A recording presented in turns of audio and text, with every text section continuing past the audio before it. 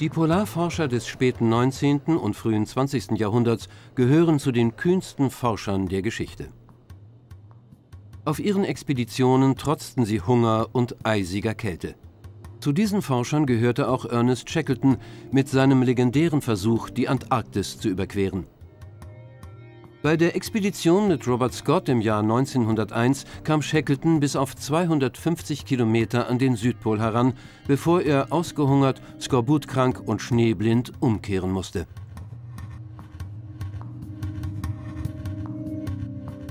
1907 leitete Shackleton seine eigene Expedition und kam bis auf 53 Kilometer an den Südpol heran. Der Gruppe gelang es als erste, den Mount Erebus zu besteigen, das transatlantische Gebirge zu durchqueren und das südpolare Plateau zu erreichen.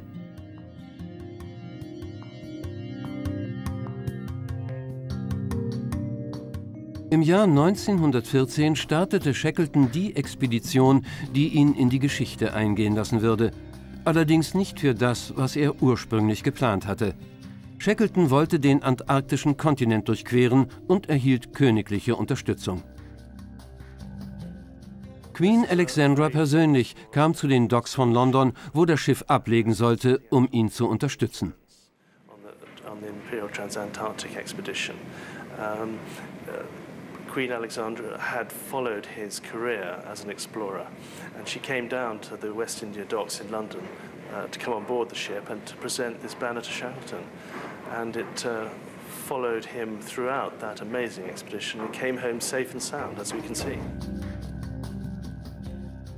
Aber das Unglück schlug zu, als sein Schiff, die Endurance, durch Packeis zerstört wurde und Shackleton und seine Mannschaft gestrandet waren. Die Forscher waren so ganz auf sich allein gestellt. South Georgia to go south to different parts of the Antarctic. Um, he and his ship were really completely on their own, completely isolated, and thus, when the Endurance was crushed by the pack ice, um, they simply had to get out under their own steam. Aus der Forschungsreise wurde ein Kampf ums Überleben. Aber diese Notsituation brachte Shackletons Führungsqualitäten zum Vorschein. Auch in den gefährlichsten Situationen gab er seiner Mannschaft Hoffnung. Sein ausgleichendes Wesen und seine natürliche Autorität beruhigten auch die anderen. And he tried to put people, for example, when tents had to be shared and different groups um, were in different tents, he tried to match people. A calm leader, somebody who would exude quiet, calm authority.